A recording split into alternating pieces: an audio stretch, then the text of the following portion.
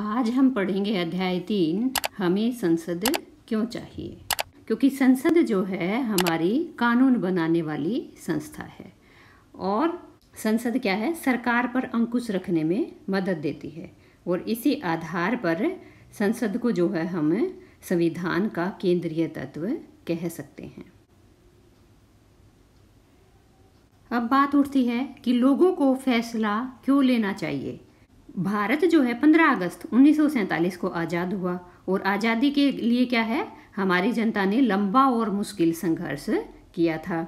इस संघर्ष में समाज के बहुत सारे तबकों की हिस्सेदारी थी। तरह तरह की पृष्ठभूमि के लोगों ने इसमें भाग लिया था। वे स्वतंत्रता, समानता तथा निर्णय प्रक्रिया में हिस्सेदारी के विचारों से प्रेरित थे। सभी लोग क्या चाहते थे कि सबको क्या मिले? स्वतंत्रता मिले, समानता मिले तथा निर्णय प्रक्रिया में भी उनकी भागीदारी हो, ऐसा सभी लोगों का विचार था। लेकिन औपनिवेशिक शासन के तहत ऐसा नहीं था, क्योंकि सारे जो फैसले जो है, औपनिवेशिक सरकार, ब्रिटिश सरकार ही लेती थी। अब राष्ट्रवादी क्या है? खुलेआम ब्रिटिश सरकार की आलोचना करने लगे थे और अपनी मांगे पेश करने लगे थे। अठारह में भारतीय राष्ट्रीय कांग्रेस ने मांग की थी कि जो विधायिका है, उसमें निर्वाचित सदस्य होने चाहिए और उन्हें भी बजट पर चर्चा करने, प्रश्न पूछने का अधिकार मिलना चाहिए। तो स्वतंत्रता से पहले ही क्या है बच्चों? जो हमारे राष्ट्रवादी थे, उन्होंने यह मांग उठा दी थी कि जो कानून बनाए जाते हैं या जो बजट पेश होता है, उसमें क्या है, भारतीयों की भी हिस्सेदारी होनी चाहिए। 1909 में बने गवर्नमेंट ऑफ़ इंडिया एक्ट ने कुछ हद तक निर्वाचित प्रतिनिधित्व की व्यवस्था को मंजूरी दे दी। हालाँकि ब्रिटिश सरकार के अंतर्गत बनाई गई ये शुरुआती विधायिकाएँ राष्ट्रवादियों के बढ़ते जा रहे दबाव के कारण ही बनी थी, लेकिन इसमें क्या है? ना तो सभी वयस्कों को वोट डालने का अधिकार दिया गया था और ना ही आम लोग निर्णय प्रक्रिया में हिस्सा ले सकते थे। तो कमी क्या है? अंग्रेज़ों ने छोड़ी थी। सभी को क्या है? समानता नहीं दी थी। तो सबको समानता, स्वतंत्रता का कैसे मिल सकती थी बच्चों? सिर्फ़ आज़ादी के बाद ही। तभी राष्ट्रवादियों ने एक ही ध्येय रखा कि हमें क्या है? आज़ादी मिलनी चाहिए। और 15 अगस्त उन्नीस सौ सैंतालीस को फिर भारत को क्या है? आज़ाद अंग्रेज़ों द्वारा कर दिया गया था। अब स्वतंत्रता आंदोलन के समय राष्ट्रवादियों को विश्वास हो गया था कि स्वतंत्र भारत में सभी लोग अपने जीवन को प्रभावित करने वाले फैसलों में हिस्सा लेने की क्षमता रखते हैं और स्वतंत्रता मिलने पर हम एक स्वतंत्र देश के नागरिक बनने वाले हैं। इसका मतलब यह नहीं था कि सरकार जो चाहे कर सकती थी। इसका मतलब था, अब सरकार को लोगों की ज़रूरतों और मांगों के प्रति संवेदनशील रहना होगा और स्वतंत्रता के बाद भारत के संविधान में क्या है? सार्वभौमिक वयस्क मताधिकार के सिद्धांत को अपनाया गया, जिसका क्या मतलब है? 18 वर्ष या उससे ऊपर के सभी व्यक्तियों को बिना किसी भेदभाव के, बिना किसी जातिगत भेदभाव, बिना किसी धर्मगत भेदभाव या बिना किसी लिंगगत भेदभाव के सभी को समान रूप से वोट डालने का अधिकार है। अब क्या है बच्चों? शुरुआत में तो हमारे देश में जो वोटिंग होती थी, वह क्या है? बैलेट पेपर के माध्यम से होती थी, जिसमें बहुत सारे कागज़ का इस्तेमाल होता था। लेकिन 2004 के आम चुनाव में पहली बार ईवीएम मतलब इलेक्ट्रॉनिक वोटिंग मशीन का इस्तेमाल किया गया और जिससे क्या है, डेढ़ लाख पेड़ों की रक्षा हुई, क्योंकि मतपत्रों की छपाई के लिए इन पेड़ों को काट कर आठ हज़ार टन कागज़ बनाना पड़ता था, लेकिन ईवीएम के इस्तेमाल से अब ऐसा नहीं करना पड़ा। तो कई बार प्रश्न पूछा जाता है कि सबसे पहले ईवीएम का इस्तेमाल कब हुआ? तो 2004 के आम चुनाव में। लोग और उनके प्रतिनिधि।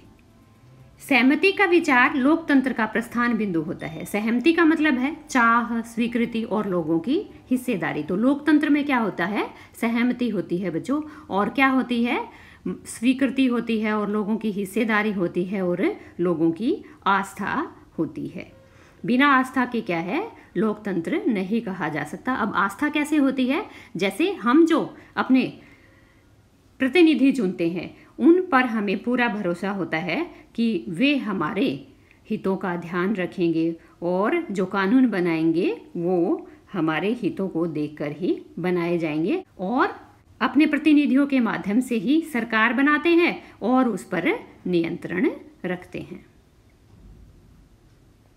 तो हमारी क्या है?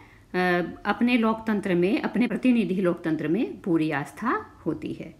अब ये कुछ प्रश्न पूछ रहा है हमसे कि विधायक या एमएलए कौन होता है और उसका चुनाव कैसे किया जाता है? तो बच्चों, हमें पता है राज्य स्तर पर जो हम विधायिका चुनते हैं, राज्य विधानसभा चुनते हैं, उसमें बैठने वाले सदस्य क्या कहलाते हैं? विधायक कहलाते हैं, एमएलए कहलाते हैं। एमएलए की फुल फॉर्म क्या है? Member of legislative assembly.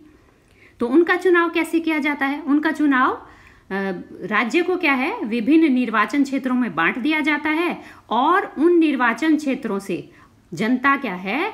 18 वर्ष या उससे ऊपर के लोग अपने प्रतिनिधि का चुनाव करते हैं और उस निर्वाचन क्षेत्र से जो प्रतिनिधि चुन कर आता है, उसे विधायक या एमएलए कहा जाता है। नेक्स्ट है, राज्य विधानसभा और संसद के बीच क्या फ़र्क है? तो राज्य विधानसभा क्या है बच्चों? राज्य स्तर पर कानून निर्मात्री संस्था को हम क्या बोलेंगे? कानून बनाने वाली संस्था संस्था को हम विधानसभा कहते हैं। और केंद्र स्तर पर कानून निर्मात्री संस्था को हम संसद कहते हैं। अब है, नीचे दिए गए विकल्पों में से कौन से काम राज्य सरकार के हैं और कौन से केंद्र सरकार के? तो पहला है, चीन के साथ शांतिपूर्ण संबंध रखा जाएगा। तो ये किसका बच्चों? केंद्र सरकार का। दूसरा है, मध्य प्रदेश में बोर्ड के तहत आने वाले सभी स्कूलों में कक्षा आठ को बोर्ड की परीक्षाओं से बाहर रखा जाएगा। तो यह फैसला कौन लेगा? राज्य सरकार लेगी। अजमेर और मैसूर के बीच एक नई रेलगाड़ी चलाई जाएगी। तो ये क्या है बच्चों? दो राज्यों की बीच की बात है तो दो राज्यों के बीच जो फैसले लिए जाते हैं, वह कौन लेगा? केंद्र सरकार लेगा। हज़ार रुपए का नया नोट जारी किया जाएगा। किसके द्वारा? केंद्र सरकार के द्वारा। अब आपको खाली स्थान भरने हैं। हमारे समय में लोकतांत्रिक सरकारों को आमतौर पर प्रतिनिधि मूलक लोकतंत्र की संज्ञा दी जाती है। प्रतिनिधि मूलक लोकतंत्र में लोग खाली स्थान हिस्सेदारी नहीं करते, बल्कि प्रत्यक्ष रूप से हिस्सेदारी नहीं करते। यहाँ पे क्या आ जाएगा?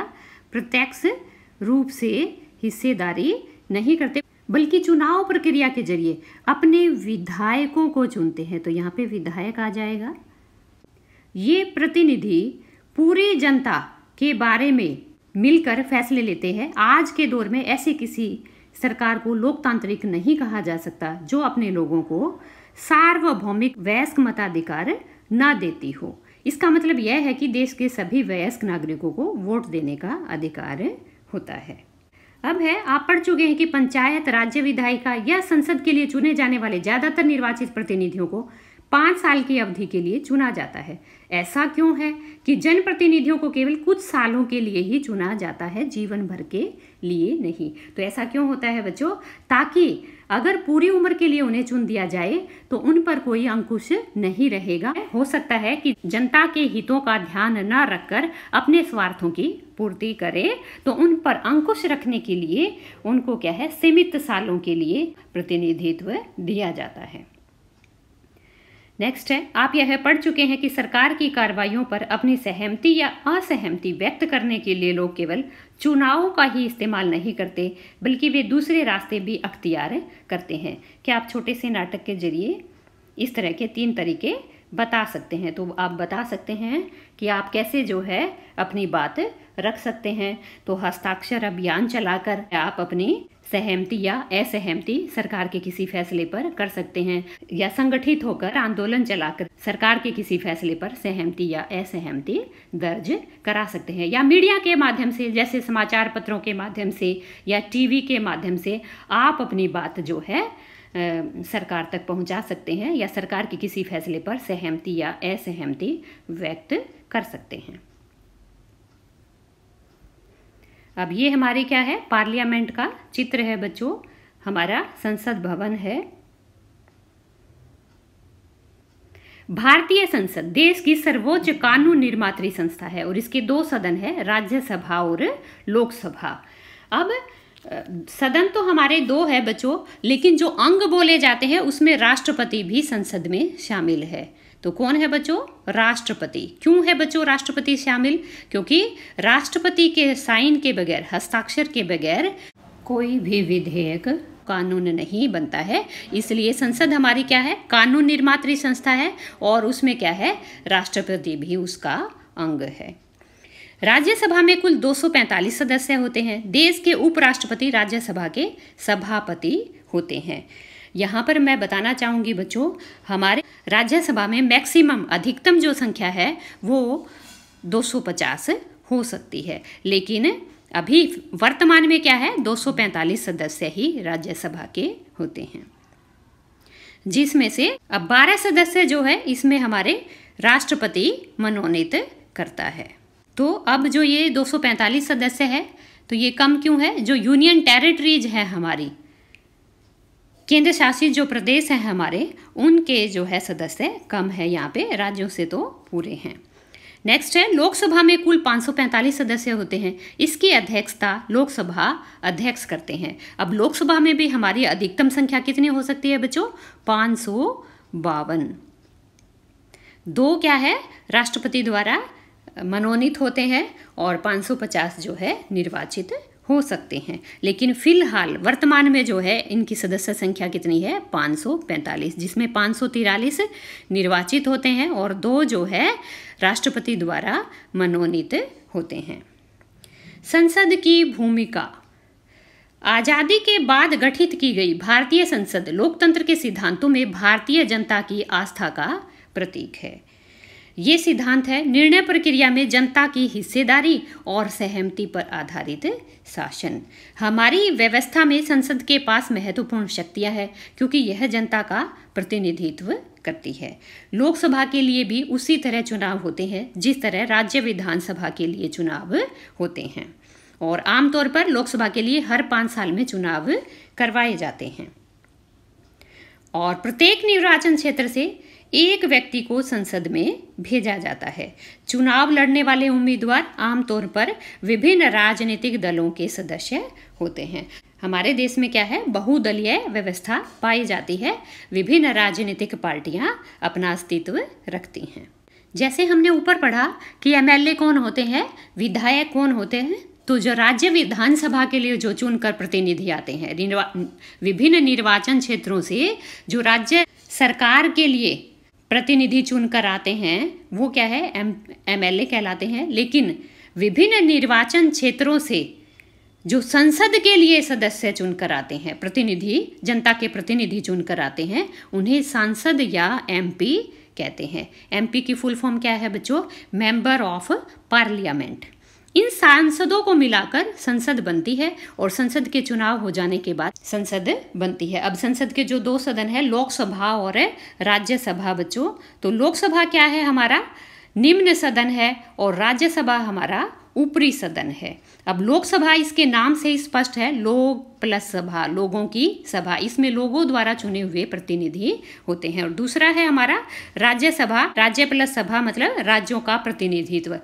अर्थात जो हमारी राज्य विधानसभा होती है, राज्य विधानसभा में जो चुने हुए जनता के प्रतिनिधि होते हैं, उनके द्वारा राज्यसभा के लिए सदस्यों का चुनाव किया जाता है और इसीलिए इसको क्या है? ऊपरी सदन भी कहा जाता है।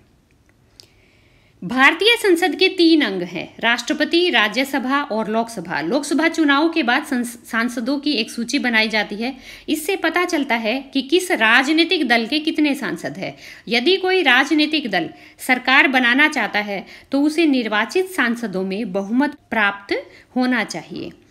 चूँकि लोकसभा में कुल पाँच निर्वाचित सदस्य और दो मनोनीत सदस्य होते हैं। इसलिए जो बहुमत हासिल करना होता है, वह क्या है? दो सदस्यों का होता है। संसद में बहुमत प्राप्त करने वाले दल या गठबंधन का विरोध करने वाले सभी राजनीतिक दल, विपक्षी दल कहलाते हैं। तो हमारे देश में सरकार कौन बनाता है बच्चों? जिसके पास बहुमत होता है। तो वह क्या है?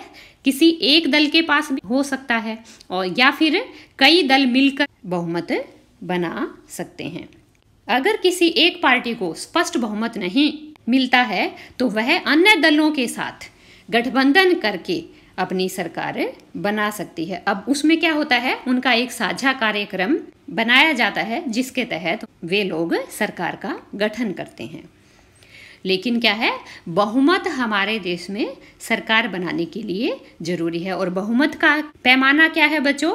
कुल सदस्यों के आधे से एक अधिक। कार्यपालिका का चुनाव करना लोकसभा का एक महत्वपूर्ण काम होता है। तो कार्यपालिका क्या है बच्चों? सरकार द्वारा बनाए गए कानूनों को लागू करने वाली। सरकार को हम क्या है? कार्यपालिका कहते हैं। तो हमारी सरकार के तीन अंग होते हैं। कार्यपालिका, न्यायपालिका और विधान पालिका।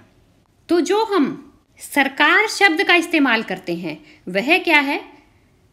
अक्सर कार्यपालिका ही होती है। भारत का प्रधानमंत्री क्या है? लोकसभा में सत्ताधारी दल का मुखिया होता है और प्रधानमंत्री अपने दल के सांसदों में से मंत्रियों का चुनाव करता है, जो प्रधानमंत्री के साथ मिलकर फैसलों को लागू करते हैं। और ये मंत्री स्वास्थ्य, शिक्षा, वित्त आदि विभिन्न सरकारी कार्यों का जिम्मा संभालते हैं।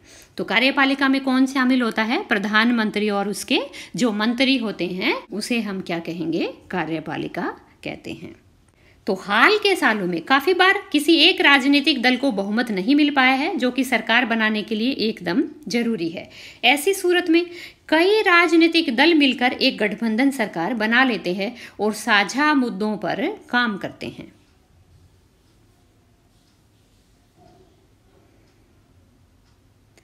अब ये दो इमारतें दिखाई गई हैं।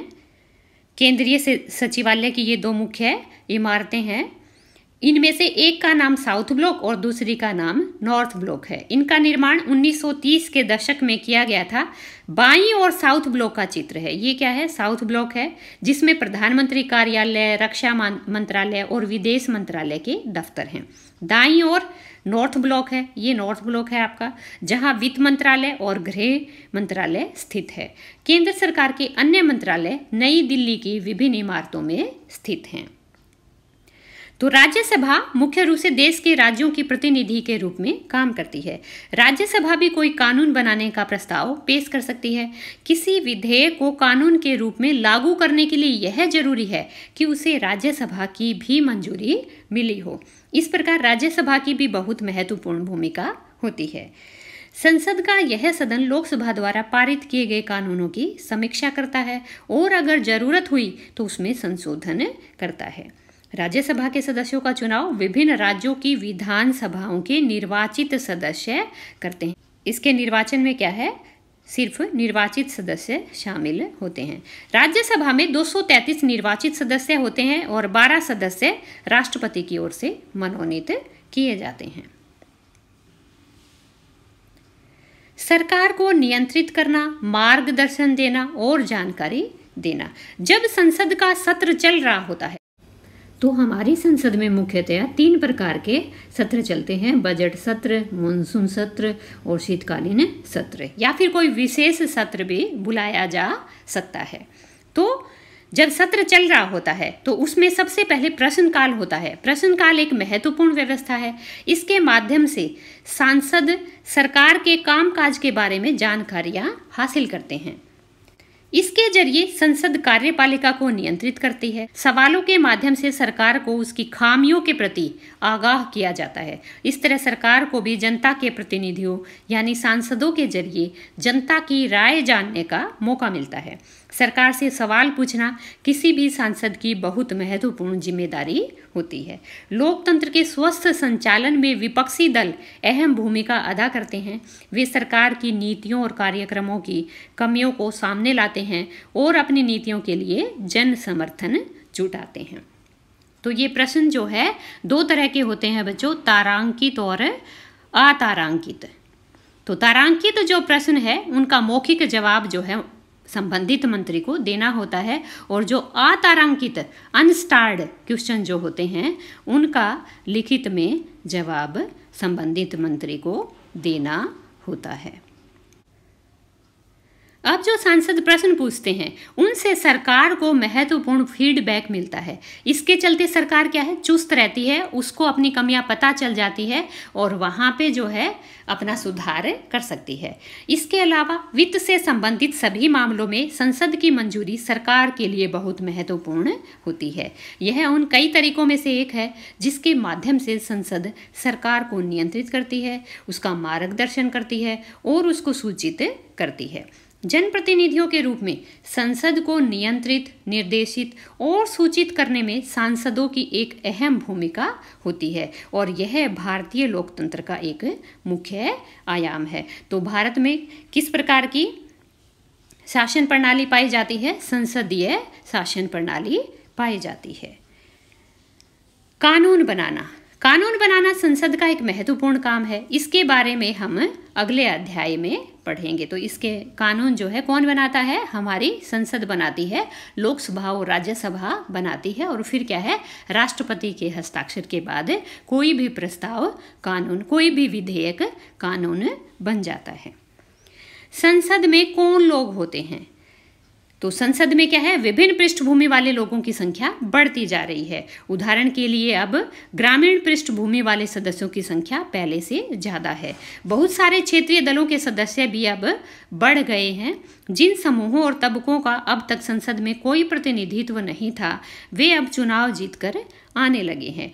दलित, पिछड़ी जातियाँ और अल्पसंख्यकों की राजनीतिक हिस्सेदारी भी बढ़ रही है।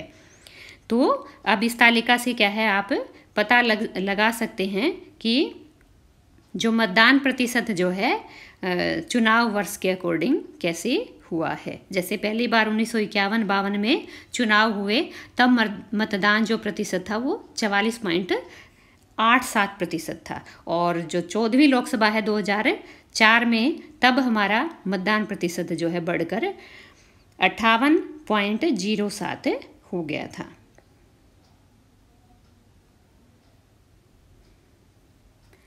प्रतिनिधि मूलक लोकतंत्र अपने समाज को पूरे तौर पर सही ढंग से प्रतिबिंबित नहीं कर सकता। यह बात साफ़ दिखाई देने लगी है कि जब हमारे हित और अनुभव अलग अलग होते हैं तो एक समूह के व्यक्ति सबके हित में आवाज़ नहीं उठा सकते। इसीलिए क्या है? सभी तबकों की, सभी क्षेत्र से लोगों की क्या है? हिस्सेदारी हमारी संसद में होनी चाहिए ताकि सभी अपने हितों का ध्यान रख सके। और इसी बात को ध्यान में रखते हुए संसद में कुछ सीटें अनुसूचित जातियों, एससी और अनुसूचित जातियों जातियों, जिन्हें एसटी बोला जाता है, के लिए आरक्षित की गई है। और ऐसा इसलिए किया गया है ताकि इन चुनाव क्षेत्रों से केवल दलितों और आदिवासी उम्मीदवार ही जीते और संसद में उनकी भी उचित हिस्सेदारी हो। उनसे उम्मीद की जाती है कि वे दलितों और आदिवासियों की ज़िंदगी से जुड़े मुद्दों को ज़्यादा अच्छी तरह से संसद में उठा सकते हैं। और इसी प्रकार हाल ही में महिलाओं के लिए भी सीटों के आरक्षण का सुझाव पेश किया गया है। इस सवाल पर अभी भी बहस जारी है। महिलाओं को जो है अभी संसद में आरक्षण नहीं दिया गया है। साठ साल पहले संसद में केवल चार प्रतिशत महिलाएँ थी। आज भी उनकी संख्या नौ प्रतिशत से जरा ही ऊपर पहुँच पाई है। अब जो सत्रहवीं हमारी लोकसभा है, उसमें क्या है?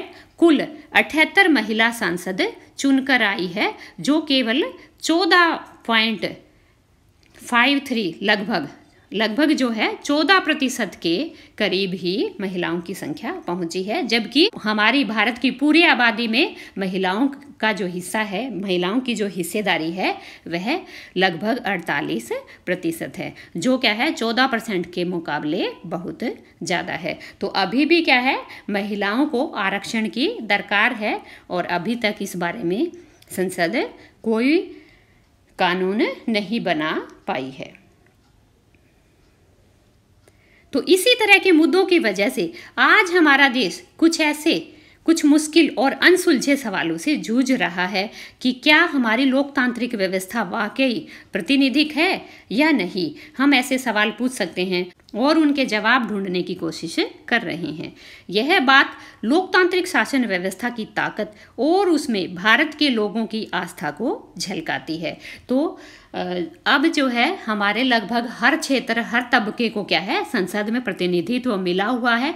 सिर्फ़ महिलाएँ ही इस क्षेत्र में पीछे हैं। तो उम्मीद है बच्चों, आगे आने वाले सालों में हमारी संसद जो है, महिलाओं से संबंधित जो समस्या है, आरक्षण की जो समस्या है, उस पर भी काम करेगी। थैंक्स।